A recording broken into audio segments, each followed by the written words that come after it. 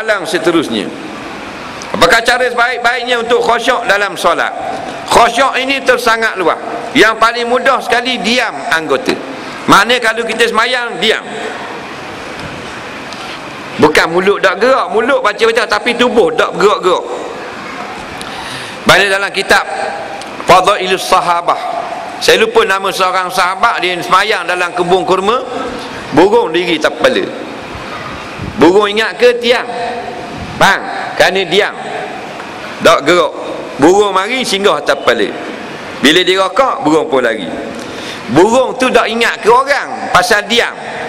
Bang burung yang liar boleh duduk atas kepala kita gelepar mayang. Tak usah burung bewok lagi tengok kita. Faham ha.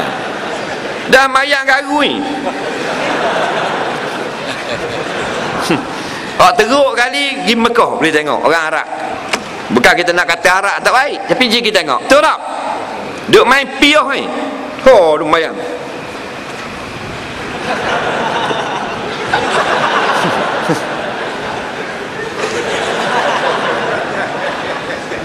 Kain itu tarik.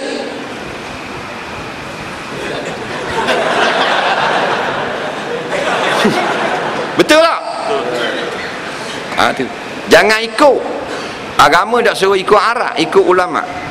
Tak kira ulama tu Jawa ke Aceh ke faham? India ke suruh ikut faham? Ha, dah mu Arab mujahid nah ha, tapi bukan semua Arab. Hak jenis mengaji hak alim hak ulama Arab senyap mayang tak gerak.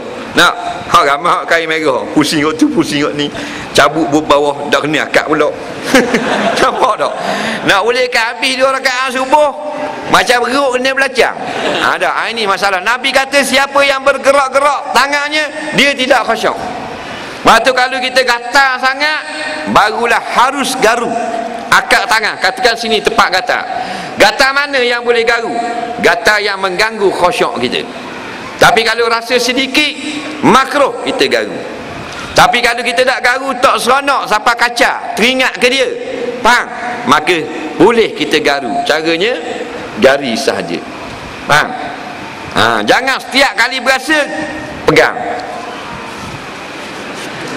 Ha, ha. nyamuk ketik kat keting gahanga kaki. Ha, tu kata. Maka biar diam dulu diam dulu. Diam. Tamakun diam anggota. Nah perhatikan bacaan saja. Ha, tu khusyuk